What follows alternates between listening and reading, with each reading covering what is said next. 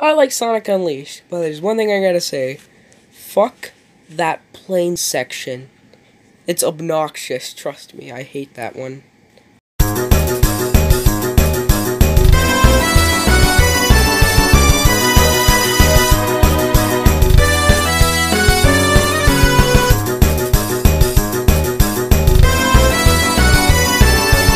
So basically, I'm back. Yeah, I was on vacation in Florida for a little while, but yeah, um, Sonic Unleashed. I actually like it. The Werehog sections were fun. The unique combat system was good.